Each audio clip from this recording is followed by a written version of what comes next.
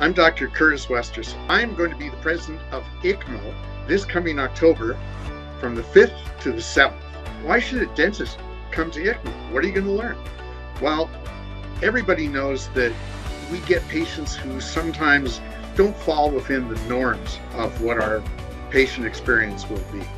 And unfortunately, those patients can be very trying and traumatic.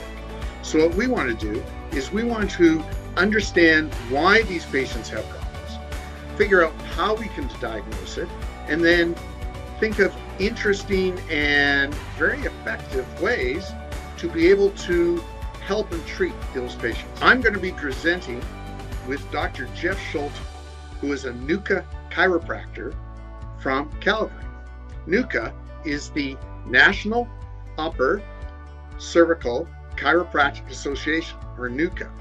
And NUCCA chiropractors and dentists can work together so we can stabilize the bite more quickly and help the patient faster. So get your passports.